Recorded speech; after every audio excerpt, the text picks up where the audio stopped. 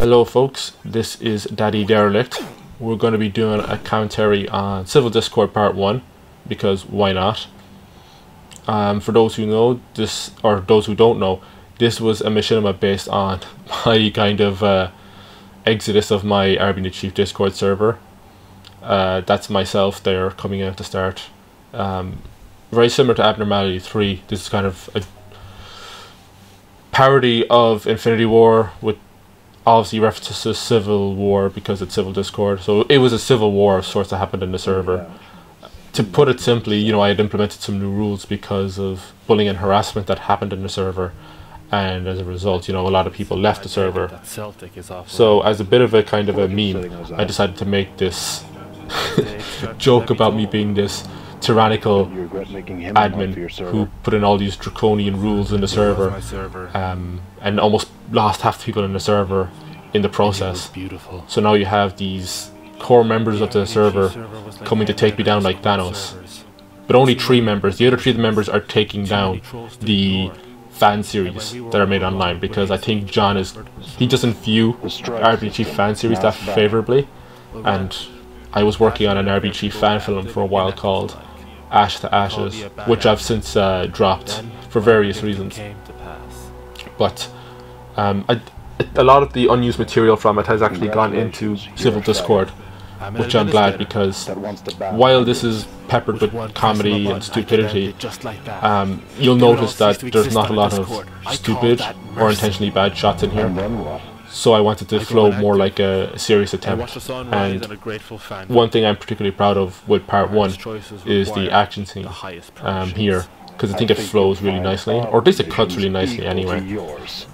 There's much better ones out there for sure, but I really like the way this is. So you have myself and Raptor having a kind of an Irish one-on-one -on -one here, and then you'll have characters like Beta and Admiral Icarus coming in as well. Great voice acting by them, by the way. Whoever those voice actors were. Check this out. And I'm guessing people are kind of confused why I'm using so many different armor abilities. And the reason for that is because it's supposed to be like that scene in oh, Infinity War when Strange is, you know, I think you'll find our powers equal to yours, or what was it? The will, our will equals to yours. So Thanos is obviously fighting them using the Infinity Gauntlet. So it's like each different armor ability is a different, uh, you know, Infinity Stone power in a way. And then obviously his power with is using the ban hammer to ban people from his server, with uh, the church from Arby Chief, obviously being you know like Titan to him, you know, referencing it. So I had to put those sound effects in there, you know. I think it kind of helped that joke land a bit more. I feel like it's a little bit here. This is similar to the fight scene at the end of season five of Arby, although I wouldn't. I don't know if I'd go quite that far. But uh, I like the way it came together. You know, Raptor did a good job with his dialogue. And there was supposed to be a shot here where Raptor sees Derelictus hanging out on the cliff, um, and I just I couldn't get it in there at the last minute when I was editing because the Civil Discord was supposed to be a one-off video like the entire 40 or so minutes was supposed to be the one video but um, I was juggling this with maybe one or two other projects I'm doing IRL and um, what happened because of that is because as I was going with Civil Discord the file was so big the project file was so big that um, it would crash my system just by opening the project. So what I decided to do was to split it in half and obviously upload the part 1 and then part 2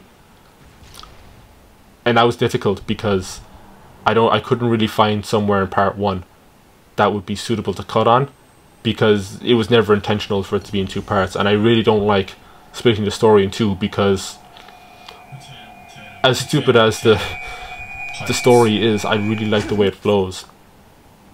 Obviously there was supposed to be a bit of Irish dialogue there that only Raptor would understand. Um, this scene um, this fight scene that, that's just finished and the voiceover sequence that's coming up were last minute additions to Civil Discord.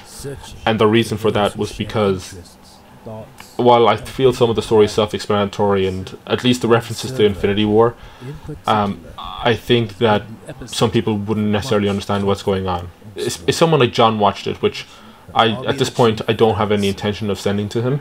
I did initially, but I don't anymore. They would need some context for this. Anyone who's played the Halo games would be able to understand at least 50 to 60% of what's going on. But the fact that it's taking place on a Discord server needs to be explained more thoroughly and not just through title cards at the start of each scene. So I had Self Decorin come in and give some dialogue on this, which I think was important. I hope it makes sense, at least to the members of the server, because, like I said, I don't plan on sending this to John anymore. Abnormality 3, which is being shown right now, was planned to be a gift to John, and I think it was pretty suitable. He seemed to get a good kick out of it. Uh, uh, Civil Discord is more so a gift to the Discord itself. Because, you know, I'm very thankful for it. It's, had a good time there, and I think to have some visual representation of the progress I've made, or at least as far as we come, would be fun. So there's my lovely avatar, standing on top of New Alexandria, because obviously I have a huge ego. And one thing I really like about this is how stupid I sound when I'm delivering my lines. Especially in the next scene in the church, which was actually initially supposed to be the first scene, and the arc cuts of it I have unlisted where that is the first scene of Civil Discord, and it actually flows really well, which is one thing I'm kind of annoyed about looking back on it. This scene and the scene before it kind of take away some of the punch that the start has. And the, that start scene in the church only makes sense to members of the server. So the reason I made the fight scene and this scene was to give context to people who have not been in the server ever, you know. Which could be most of the people, it could be very little of the people. But I kind of need to keep everyone in mind. Um, for the character of Captain Desi, uh, he had given me his armor permutations in the past, which I know I didn't get those right in this production. But the reason I gave him recon is because in a lot of his interactions online, he usually wears recon armor, and that's kind of a image that we find synonymous with him. So that's why I gave him recon in this. And didn't really give him specific armor perms after that. It's recon armor that is the most central thing to his appearance. At least that's what I believe. So I like this scene. This scene's pretty cool. And I kind of wanted to find a reason to explain the characters one by one because while all the characters have their own scenes and their own moment to shine in this production, I kind of wanted to set them up like these badasses. Espe like obviously that happens with the um, the Reknub people, the R E K N U B. I wanted to do that with Desi's crew as well. The S the See Me After Class people. That way when they're set up in black and white you're thinking, Oh, these must be such cool people and then when you see them actually in the the actual civil discord, they're just complete dumbasses. And I love that idea of kind of subverting expectations and such. Um, a huge part of this was actually getting the map of the church. We could have made it without it, but it, it was so cool having it that I could no way not use it. Um, most people picked up on this when it initially uh, premiered on YouTube, but this is obviously the reminiscent of the decimation scene from Infinity War when Thanos snaps his fingers and everyone fades away. So I'm guessing some people would probably say this is more akin to Endgame since the end is at the start. Which is which is true, and since I didn't intend for Civil Discord to be a two-parter, you could make the case that part one is Infinity War, part two is Endgame, which is fair, because Abnormality 3 was more inspired by Infinity War, came out around the same time as Infinity War, and then you have Civil Discord, which comes around the same time as Endgame. So it's all about how you see it. I think there's more of Infinity War in this than Abnormality 3, and towards the end, I think in part 2 it mirrors Endgame a lot more. Now I don't know if I'll release this before part 2, so I don't want to give too much away, but I think the red here showing was really cool again, the reason why I believe the power of the scene was taken away is because you already had colours being shown in the first two scenes.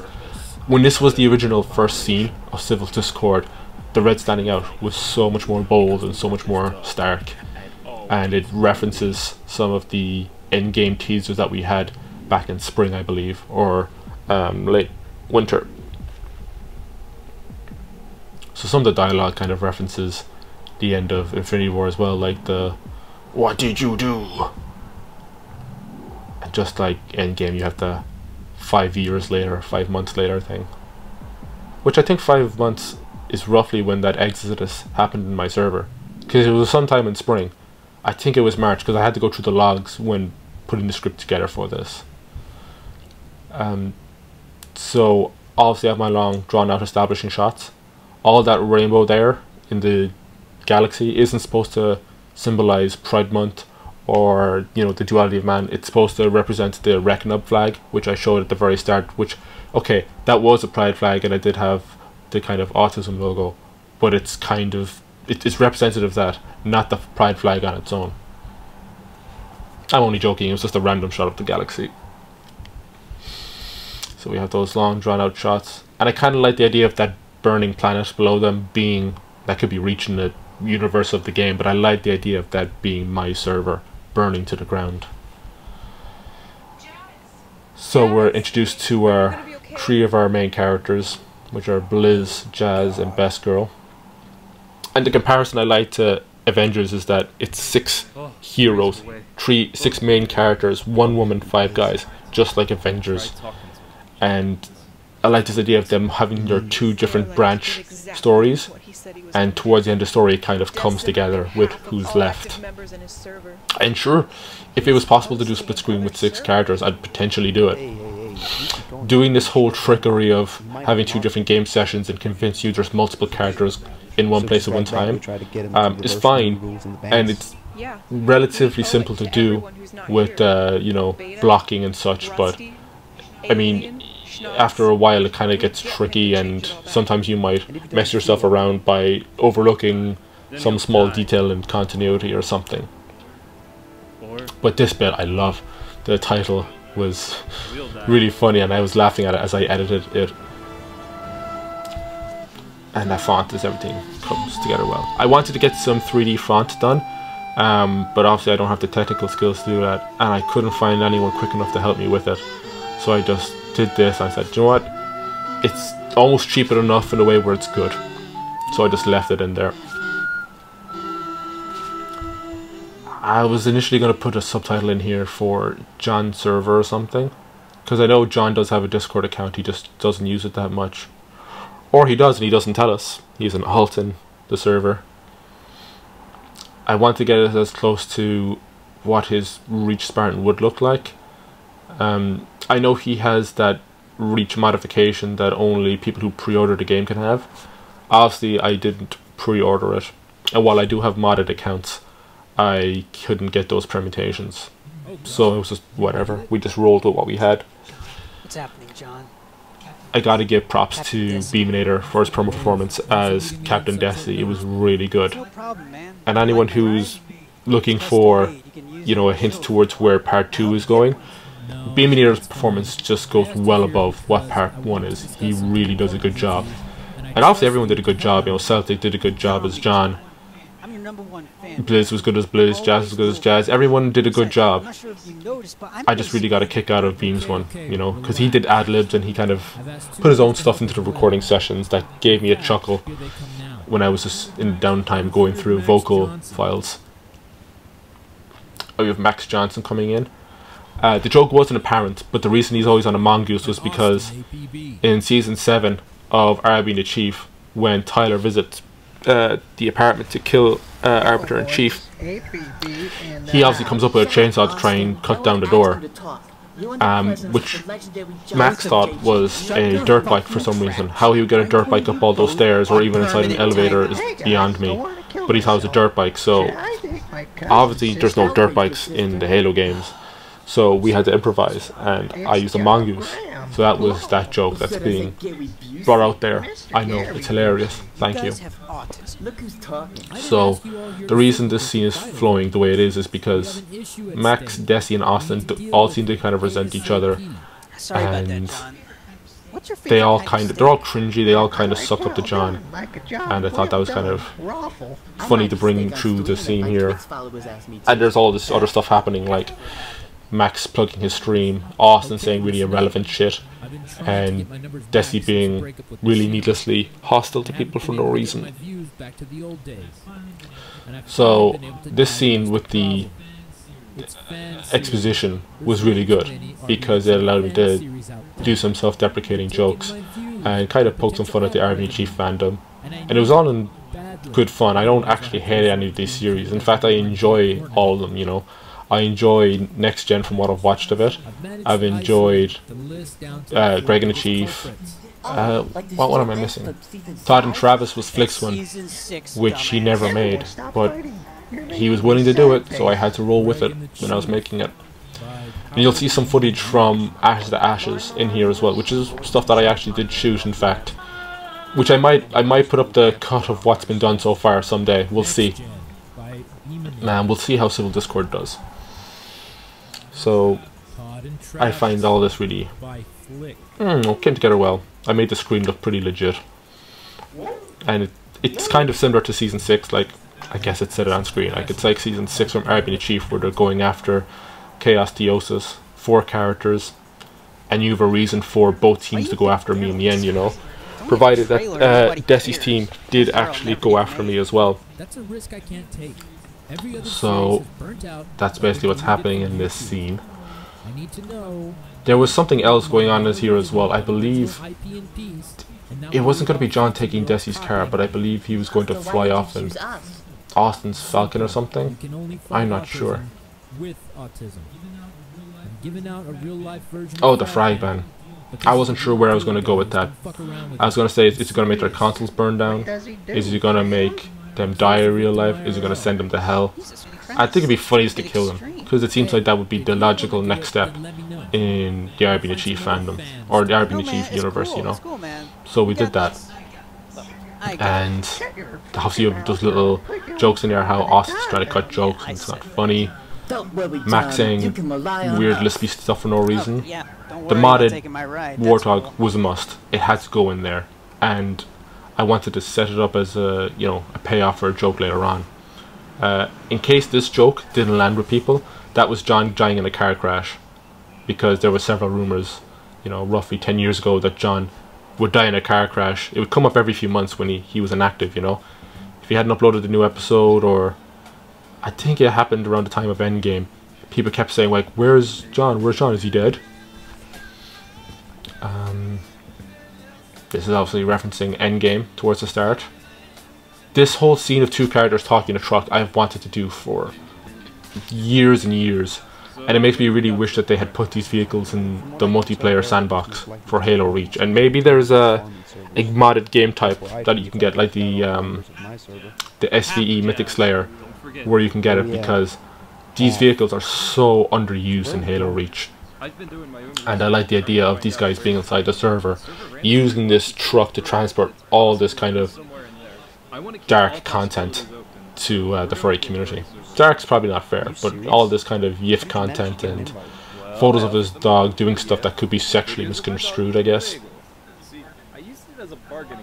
And it flows really well. It's like an actual conversation. Even though Jazz and Blizz recorded their stuff separately, it really kind of flows nicely. Uh, then we have Kali. Um, uh, so he has the uh, is it the rotting armor effect on, and that's not because you know he's a furry or anything. It's just because we think that he's personally a degenerate. Um, vocal performance is really funny there. Had to put some vocal work onto it though, because I believe Kali, Kali doesn't identify as male or female, so we had to put it in that kind of gender neutral kind of bracket. Because even though I brought the pitch up. There's kind of like this bassy timbre to the voice as well. So, it's pretty funny. Wait, so where's best? Oh, I love this cut as well. This cut of uh, going to the next scene, I really like. Like, it's tough for me to watch after the first seven minutes of it, but from here onwards, I do like part one. And do you like Bugs Sure. Flick was a complete champ for doing this, and Ari was really good for doing Best Girl as well. I was considering bringing down the pitch on Ari's voice to do Best Girl, but I wanted to be more obvious that it was a girl, you know? And I wanted to have a very clear female character in this team as well for Civil Discord. And this scene just flows really well. Any last words? Last words? God, it's so funny. Where can you find the podcast where John talks about Kale leaving the show? I can't That's a little in joke there from Flick. And I'm guessing even though they're good guys, you're seeing this underlying dark side to Desi where maybe he's actually enjoying killing these characters, you know? Like maybe he's now lo- he's no longer doing his job, he's doing something he enjoys, you know? He longs for the blood. So that's part one of Civil Discord. Uh, thanks for listening to me drone on for 20 minutes. Jesus Christ. Um, look forward to part two. It's a coming real soon. Okay, take care.